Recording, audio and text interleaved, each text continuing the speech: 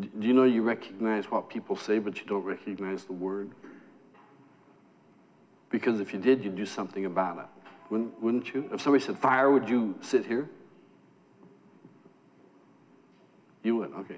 Somebody yells fire to me, I'd say, where? And if they said out that door, I'd go out one of these. Spirit life is much the same way. Where you place your focus, there will be your heart. Where you place your focus, there will be your heart. And that will be the spiritual heart. So if you want to right now have a real short seminar that will last a long time for you, take in your loving into the center of your being and allow it to just expand and lift you into whatever level of consciousness you want because God said, everything I have is yours. If you're not getting it, you're not claiming it, you're plain stupid. And he guess he must have said that's yours also because you got it. Not all of you, some of you got dumb. Um, some of you got real, really intelligent, really intelligent. Yeah, a few of you. I see one and a half. Okay, at least one and a half of you. Some some of these things will get funny as I go along, and I'll tell you that ahead of time. So when I come to it, I can tell you, laugh, and then you'll know you can laugh at that one. And others, I'll say, oh, that's real serious, so then you can just go ahead and be serious. What, for whatever good that does you. Oh, I've- I may tell you to worry a little bit for whatever good that does you. Is anybody ever worried about something and it changed the future? You know, I, I tried it for 10 years, and uh, it all turned out the same anyway except it turned out really lousy because I'd been worrying all the time about it. And so I decided, why worry? Why, why do anything that is less than what I really want in my heart? Why do anything less than that? I mean, if I look at you and I see you and I say, I love you, then why not say, I love you? And feel that inside of me that I do love you, to acknowledge to me the superiority of my loving over my critical mind and stupid emotional judgments. And yet, what do we do? Criticize, fight, judge. To what event? To what end? That you'll be recognized and known for a day longer on this planet as somebody who wanted something but you lost at humanity? Do we want to lose at being human? Scripture says, Judge not, lest you be judged. What on earth does that mean? Is somebody going to come down and, you know, like wipe our heads off? No, it's worse than that. you get to live your own judgment. And you know how you get to live it? Inside of you, where the judgment came from, is where you have to keep living the judgment over and over and over. And the judgment you carry on somebody else is the judgment you live in every day. Don't be stupid. Switch that judgment around. Not for them. There, people are going to do what they do for you. And then you can have what you want inside of you. You think that's hard to do? Let's try it. Not by doing loving. Let's just see if you can switch it. So as soon as I say a word and you recognize it in your mind, you see it somehow, you know it, just raise your hand up like that. And then let's just sort of be aware of who's around raising hands, just to sort of, uh, what, what do we call this? Um, what, what do you call it, John, when you do an inventory by one person? An inventory by one Yeah, when we were walking down the street in Florence, you were telling us about the statues, and I said, How'd you get that information? And you said, Independent survey. So, you know, well, I'll tell you a story. He was doing, telling us all about this, these statues, and I said, Yeah, how did you get that information? He said, Independent survey. I said, Oh, yeah? Whose survey was it? He said, Mine. and I just, one more little bit of loving went to John because he was smarter than me in that moment and lit up my life with just this clever thing. I never really thought of John as being a comedian. and he wasn't a comedian that day. He was dead serious about that. And so I, first chance I had, I used the term. Somebody said something. I said independent survey, and they said, "Oh, that's good." They never said who what? There I was stuck with the punchline and nowhere to deliver it. ah. So I just did to John. So I'm going to say one word, and when you, uh, or maybe two words or three, but as soon as you recognize it, raise your hand. Eiffel Tower. Oh, put it down, that's too fast. Red Rose. Uh, dirty diapers. Now, my, see, now my mind goes by content or by, by knowledge. Now, all parents know by content. They also know by knowledge. The rest of us know by information. We went to the house where the dirty diapers were and we knew what that was. It was not the house of peace and harmony. And yet at the same time, if you said, clean the house out, and get rid of the kids, they'd kill you. We will fight for the right to choose our destiny. And will not choose effectively the choice that God has given us to have. We won't choose effectively. Somebody says, You're going to go to the thing tonight? Well, I don't know. I'm thinking about it. You're not what do you mean you're thinking about it? You're not thinking about it. You're just seeing if something better comes up. That's all. You're comparing. Well, you should say, I'm comparing. I'm evaluating. I'm looking through the paper to see if there's a good movie, new flick, new this, new that, new that. If it's not, I'll be there. Of course, if it rains, I won't. But of course, it rained today, and here you are. So, what were your choices based upon? Some sort of faith inside of you based upon empirical evidence. You know what empirical evidence is? This glass is empirical evidence. Right? This Eiffel Tower is not. Too many people lift Eiffel Towers, and you can't do a thing with those. Do yourself a favor. Get a pencil and paper one of these days in the near future, like tomorrow. You know, these stenographer notepads, they're really good to do it with because they're sort of built for the, the for wetting the thumb and turn the page. And just start writing down the things in your life that are important to you. And if you have to stop and think, that's okay. That's permitted in here. Thinking is, is permitted. In fact, never leave your brains at the door of any place you go. Take them with you. That's your resource material. Too many people come in and go, What are you here for? Oh. We want you to go back out and get the rest of your brain and come back in and say, What are you here for? Say, It's because it's raining and I didn't want to get wet. It doesn't matter what the answer is as long as it makes some sense as long as there's a direction to it. So, what our direction are we looking for as human beings? We're looking for more loving. We're looking to find that place inside that is crippled, that's handicapped, that's hurt, that we don't know how to get rid of. And we're trying to get it fixed. And yet, the fixings as the disease are all inside.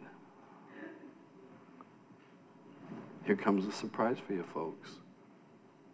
you can heal yourself of everything.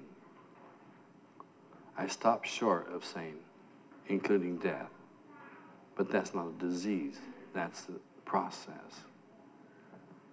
And so you move your life where you want it to go. And you care for yourself and you care for others.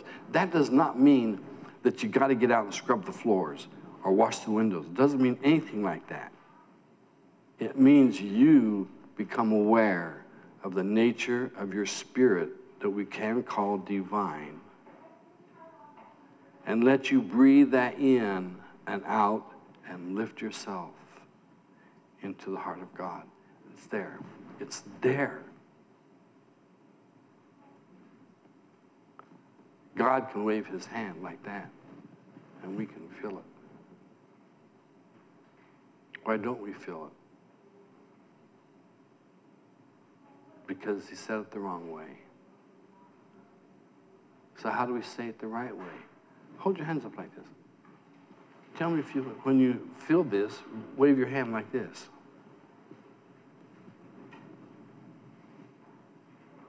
As you feel the tingling, and here it comes. Some of you it went across your eye and it's in your feet and you haven't noticed it yet because you've just focused on your hands.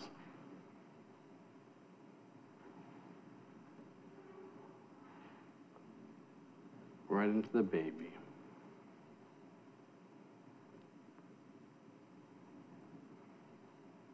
Okay?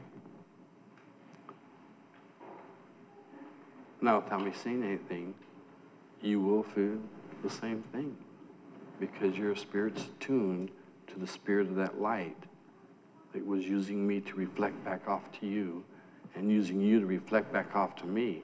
I knew when you got it because it came back from you to me. And I felt it.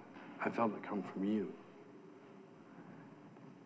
And in that, something really wonderful was happening. I was saying, thank God I know these people. I don't know your names and addresses and phone numbers. Thank God I know these people. Thank God you're here.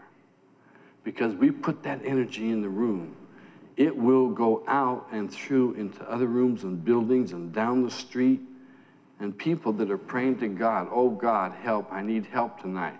It will find its way into them. And we are part of that because we recognize the divine is our co creator. And we say, then how did I create this mess? You made bad choices and you allowed it to create itself. So what do we do now? We get the pencil and paper and we write down all the things that are good. And we track them. Turn over halfway or go at the back and start, write down all the things that are bad you probably get more than halfway on that one.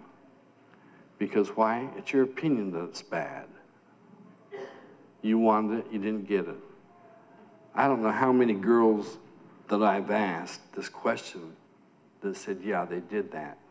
When they were growing up at some time, they sit by the phone and waited for their boyfriend to call. And waited and waited and waited and went to bed without the phone call. And I listened to this and I thought, my God, that must be a great kind of love where they will sit by a phone waiting for a somebody to call that they're not sure they're going to call. What kind of love is that? That's the kind of love that produced civilizations. Because men will get up and walk out. And some men, of course, get thrown out. Mm-hmm. And, and that's okay. You know, maybe they'll learn to walk a little faster. Who knows?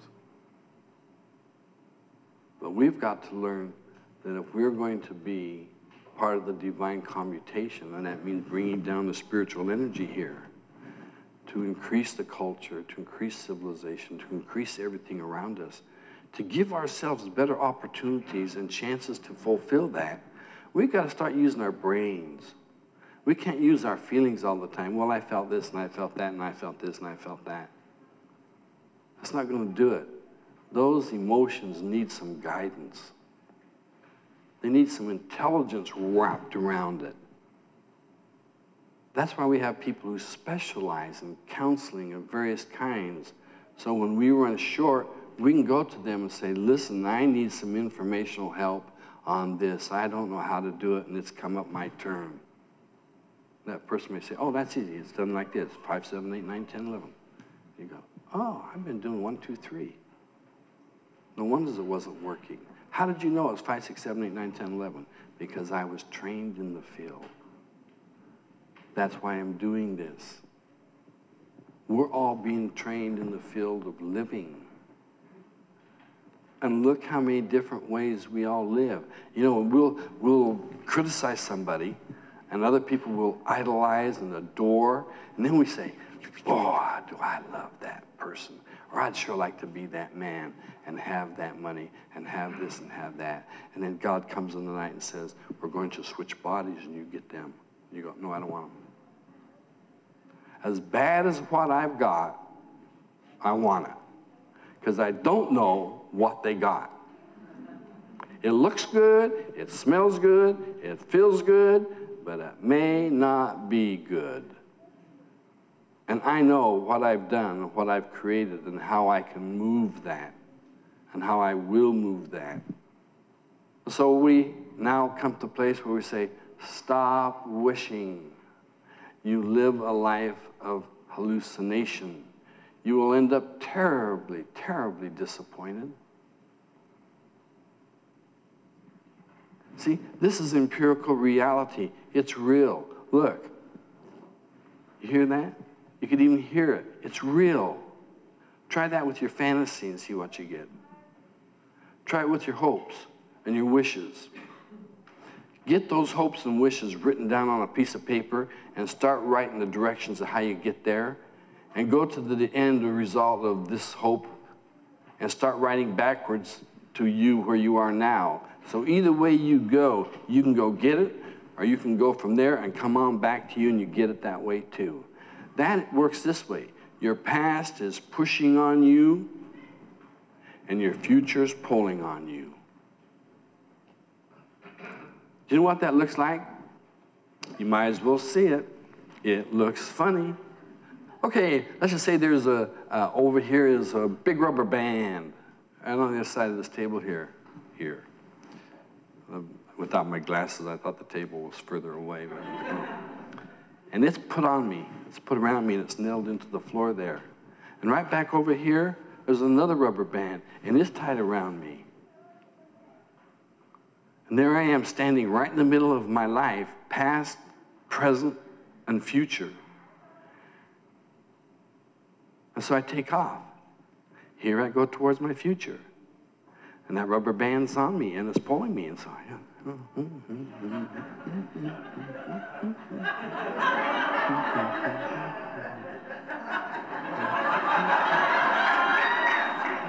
what, what's that?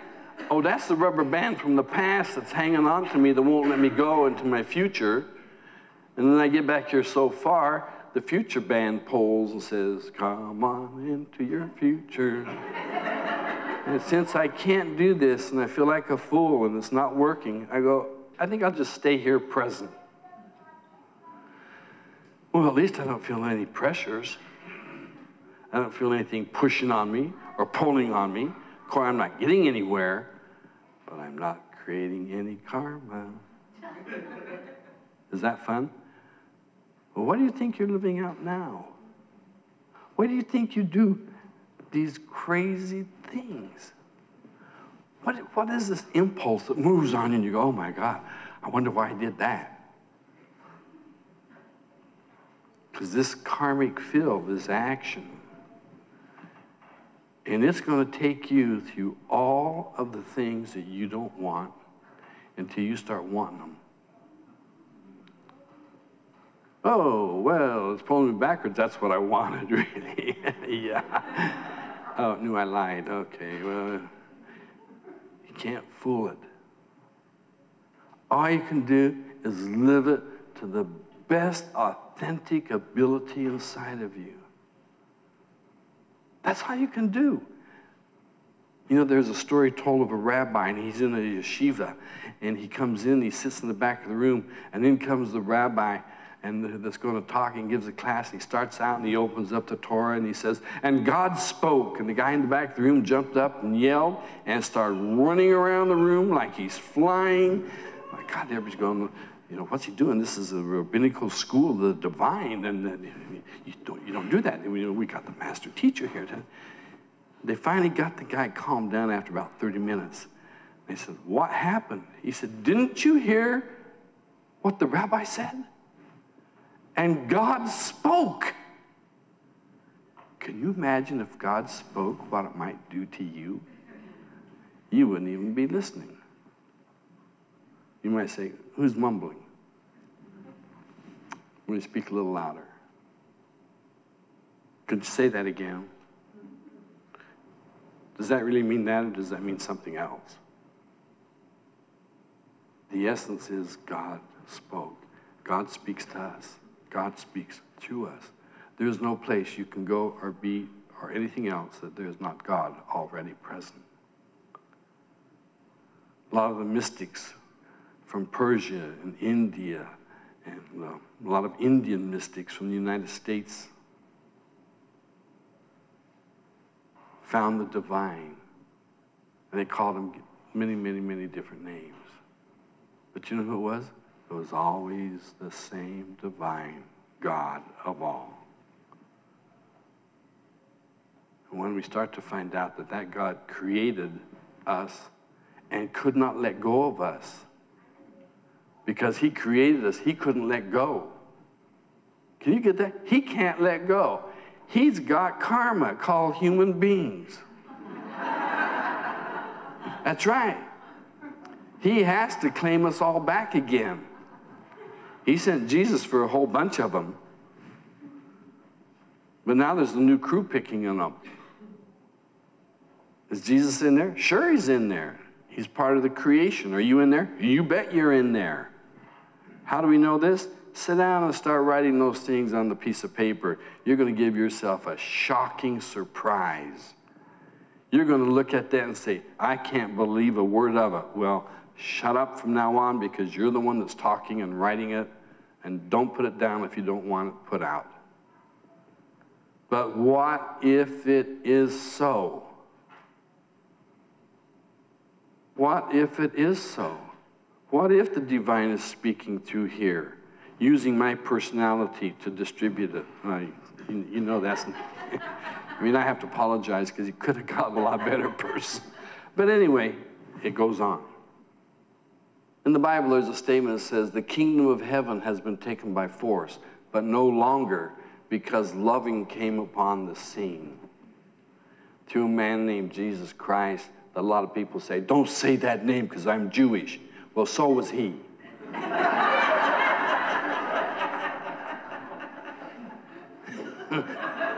Jesus, you mean that guy, the Lord, the God of everything, was Jewish? Hmm, I guess I am one of the chosen people. He also chose all the Israelis too, and all the Gentiles, and all the people who couldn't even talk. And He's choosing us every day. Are we smart enough to choose back? Are we? Or do we like to think we are, like we can intellectualize to it and get the answer? But can you take it home with you? Can you take and lift yourself up into it? Can you grab a hold of the Lord's hand or, or little finger, or, or maybe he's got a tuxedo on, or, or, or maybe a, a great big flowing ballerina costume?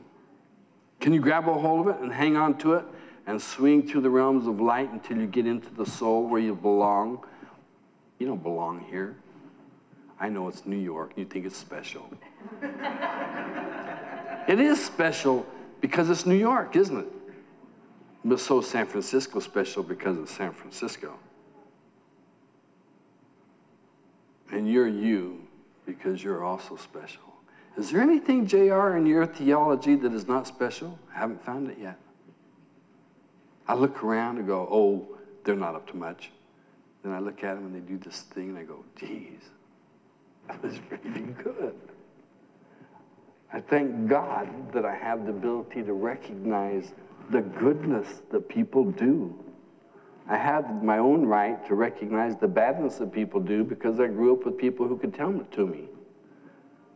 You know what we call it? Judgments. You know what they called it back then? Directing, learning difference between right and wrong. You know what they call it now? Abuse. You know what they called it back then? Discipline. Change the word, hurts just the same. So there's no need to change the words. So, what are we going to change in here?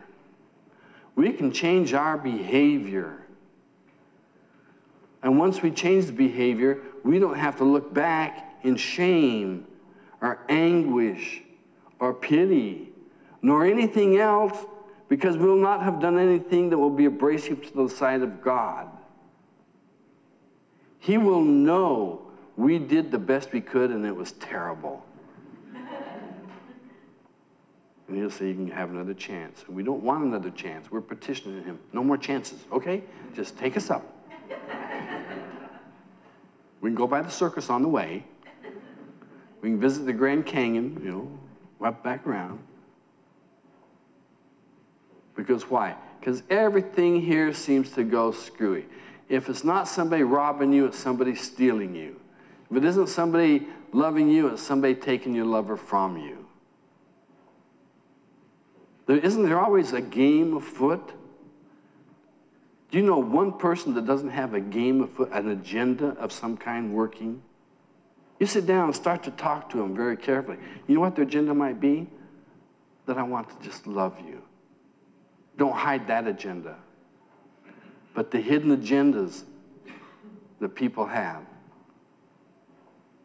I'll say something in here, and I've heard John do it, and some people just uproar laughter.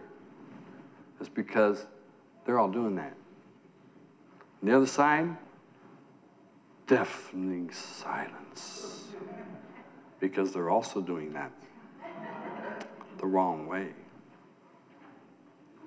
So this group don't like him, and this group just loves him. Me, you all love me because I do both sides. I mean, there's nothing you can do that I haven't done. You think I'm going to judge me because of you? Ah, come on, that's, that's nuts. I'm not going to judge me because of you.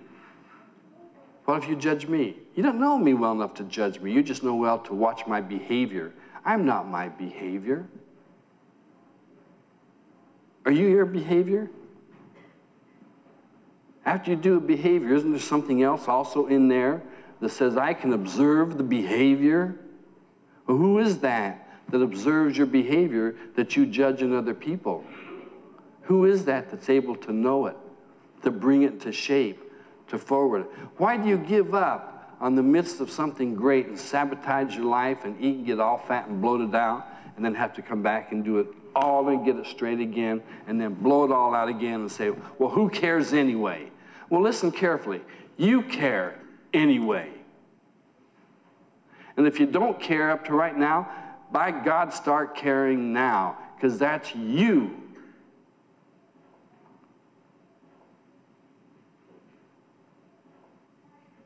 I hope you felt that as a reprimand. But I bet you felt it as love coming through too. Because there's a lot more love in what I say than what I, than what I do. I can't do all the loving that comes through. I know you can't either. I know a lot of you want to hug me. So one day I hug you and you can't stand it. You just start trembling, breaking apart inside, and you start crying. Why? Because the divine energy that moves through on that hug, it's going to love you. Do you know the Bible says God is no respecter of persons? Well, who do you think the Holy Spirit is if not part of God? Who do you think we are if we're not part of God? And when we start to hug each other and hug each other, I did a baby blessing tonight on a beautiful little girl, just terrific. She knew more what was going on in that room than anybody there but me. And I wondered about me a few times. And she showed the path. And she was crying. She was exercising. I don't know, maybe it was opera and I didn't recognize it. But I knew one thing the love in that room that was pouring out on that kid, you could build buildings with it. That was empirical evidence. Have you ever had somebody that you love or that loves you and you're attracted to the same things and you feel it and you know it? It's true because you know it to be true, because it's in your trueness. And it's in that heart of loving and caring. And you know it. And you also know when people are out of line with you. Because that trueness also knows falseness. And have you ever loved someone and you really loved them and you married them and it said, till death do you part, and five years later, death appeared as divorce? But did it have to? No. I'll tell you a secret. Any divorce can be saved. All you got to do is two simple things. The man looks at the woman, and all the things that bother him, he keeps out of the relationship. The woman looks at the man, and all the things he does that just drives her crazy, she keeps out of the relationship. And the things that those two don't like about each other, they do not bring into the relationship. And the things that they do like about each other is what the relationship is about. Think about that for just a few seconds. You got a choice to either pick on that person, judge them, over evaluate them, or you got a chance to say, pass, and produce the loving form. Where they say, you know that thing you used to do that bugged me? Do it if you feel like it. And then, wouldn't that be neat? You go, I get to do it, I get to do it, I get to do it. What? I forgot what it was. I haven't done it for so many years. He's, well, I guess we can make problems. But I know that if we watch how we behave towards things that are irritating to us, uh, things get irritating to me. Somebody honk a horn right behind me, you know, I jump about three feet and never move because I'm a little too heavy to jump too high. But I know that if I choose carefully how I get out of a taxi on the street, I have less chance of having a car hit me than if I get out the other side.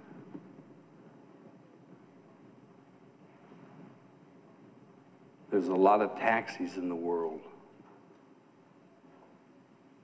What do you get out of that you don't like, that you step into something that hits you that you don't like even more? You weren't watching. You got two eyes. Turn one for that direction, then the other one for that direction. Take a look at it. You look behind you just out of pure paranoia. You know, you're not paranoid if somebody is out to get you. And there are people in this world that are out to get other people. I've had them try to get me. My God, I've got a history of people trying to track me down. When they get to me, they say, ah, oh, what a disappointment. I go, gee, that sure hurts. You hurt my feelings. What you said didn't hurt it, that you were disappointed. I thought I could at least irritate you a little bit, something. You know, something. They go, nope, nope, nope, nope, nope. And now I've got them engaged in conversation. Now we start talking. While they were saying no, no, no, no, no, we were in conversation. And I just go no, no, no, no, no, right with them. And they're in conversation. Then they start to explain their no, and I start to explain my no. By the time we both get to explaining our no's, we're to yes. Because we didn't know what that no was until they told us. You know how we get to yes real fast? We talk about the no-ness in our life.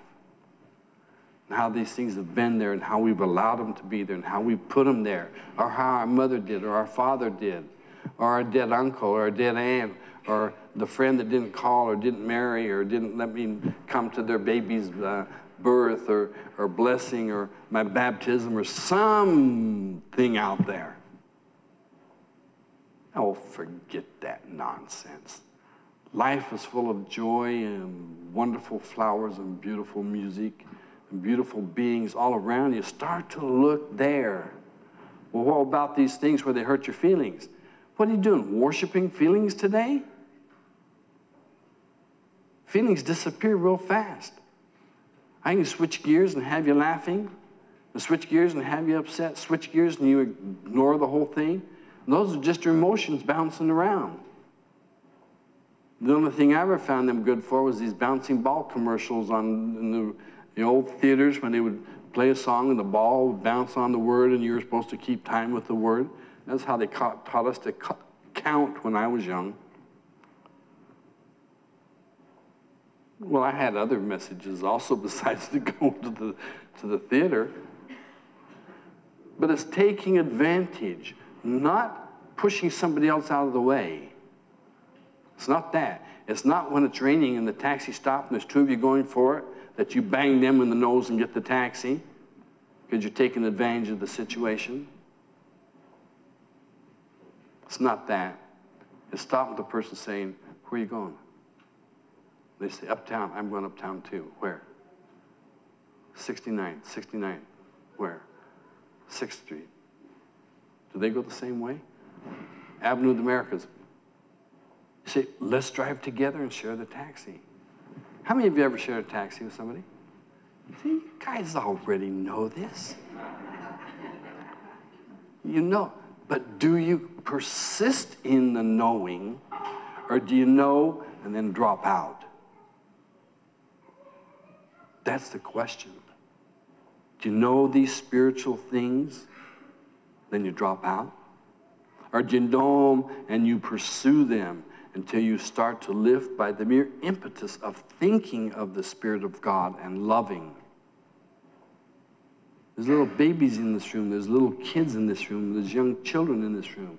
And I saw some over here on their knees racing along the corridor on their knees. And I thought, how terrific. God, I bet that hurts. How, just, just how terrific, how wonderful it is. Not as any kind of make believe, no platitudes, nothing like that, as a real statement, as me calling out your name as a real who you are. I'm identifying you. I am pointing you and identifying you. And out of you and that pointing, I'm identifying the loving that is going to lift us all, not just you, the whole group. Not just the whole group, the whole county, the, everything. Can we do that? Do you want to? Do you want to do it? Yeah, we can do it. Why? Well, I don't know what religion you are, but Jesus was a pretty good reference point. And he said, This that I do, you too shall do, and even greater, because I'm going to the Father. And if he said that, either he lied and forget the whole thing and drop the religions out, or get on your horse and take off. It's available. What if you don't care to run? You might fall off. Walk your horse. Geez, don't be stupid about the methods. There are too many of them. What if I miss giving you one? Oh, give it to yourself. I don't have to say it. You just have to hear the Spirit of truth say it through you, through somebody else on a billboard, TV, movies, when you come into a fuller consciousness of, aha, the Archimedes syndrome, eureka, then he runs down the street naked. Of course, only in Greece could you get away with something like that. Well, or New York City.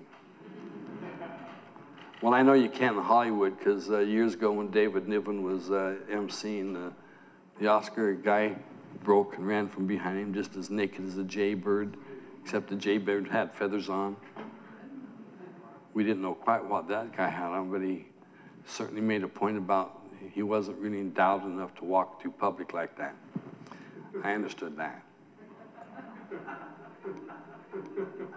Are we endowed enough spiritually to walk through our life? We are. Are we all endowed the same way? No. Why? It would get boring. It would get terribly boring.